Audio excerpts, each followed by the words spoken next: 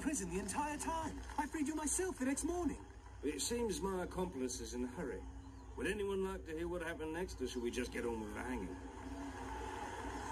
Right then. After our narrow escape, Elizabeth was absconded by a band of ten. No, twenty. Fifty pirates. Fifty? She was brought aboard the Black Pearl and taken to Isla de Muerta, which you won't find on any maps, so don't bother looking. With no ship of our own to give chase, Will and I were forced by circumstances to take actions that some might consider piracy. We set sail aboard the Interceptor, a brisk and sturdy vessel formerly the British Royal Navy.